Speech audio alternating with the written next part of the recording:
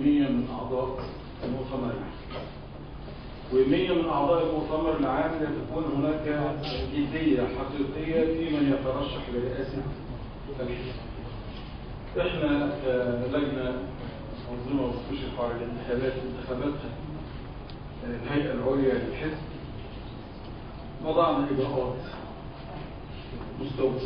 مستوحاة من قلنا إن أي مرشح هيتقدم اللي هو بيكون معاه 100 تزكيه لابد إن هو بطبيعة الحال يقدم صورتين شخصية حديثة. آه، صورة بطاقة الرقم القومي وصورة من شهادة ميلاد الرقم القومي.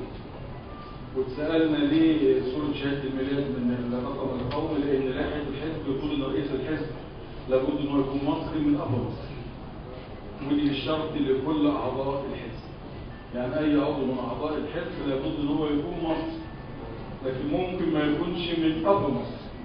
لكن اللي يتولى رئاسه الحزب لابد انه يكون مصري من أب مصر. بطبيعة الحال إضافة إلى صحيفة الحالة الجنائيه إجراءات آه، معمول بيها عشان يبقى برنامج تقدم للترشح لرئاسة الحزب يبقى سجله ها؟ السياسية ما ظهرتش بعد كده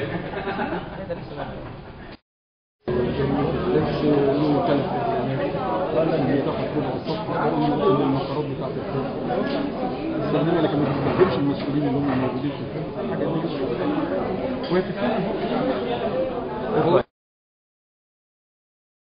حزب له مرجعيته لكن كل كيان له كيان فانا لا اجاوب على الحاجات اللي هو افترضها في